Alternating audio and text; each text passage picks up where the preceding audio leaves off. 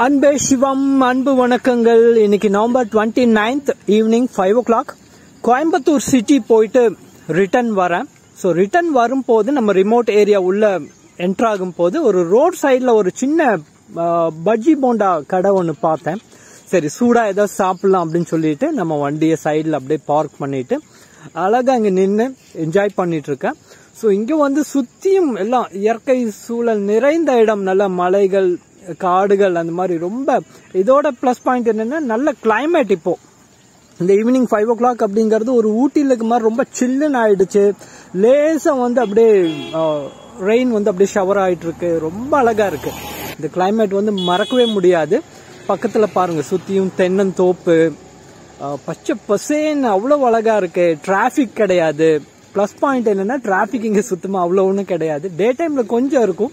ஏன்னா Coimbatore city link பண்ணுற road அப்படிங்கிறதுனால இது அந்த ரோட் சைடில் இருக்கக்கூடிய அந்த பஜ்ஜி போண்டா கடை ரொம்ப சிம்பிளாக அழகாக இருக்கு.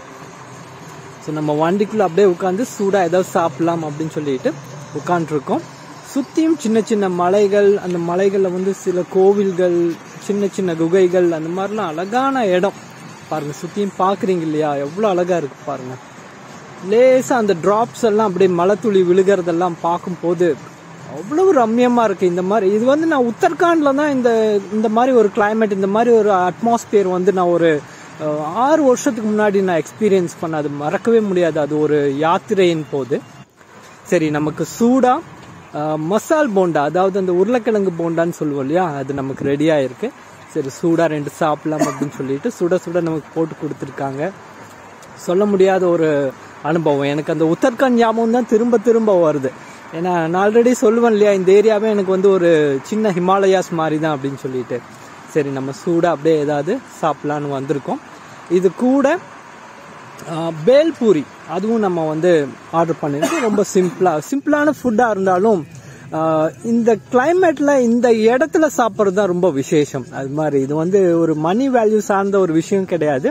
இந்த இடத்துல வந்து இந்த மாதிரி ஒரு பத்து நிமிஷம் ஸ்பெண்ட் பண்ணுறோம் அப்படிங்கிறது மறக்க முடியாத ஒரு அனுபவம். சரி அப்படியே தொடர்ந்து நம்ம டிராவல் பண்ணுவோம். இந்த ஒரு சின்ன எக்ஸ்பீரியன்சஸ் உங்களோட ஷேர் பண்ணதில் எனக்கு ஒரு சந்தோஷம். தேங்க்ஸ் ஃபார் வாட்சிங் நன்றி. நம சிவாய்.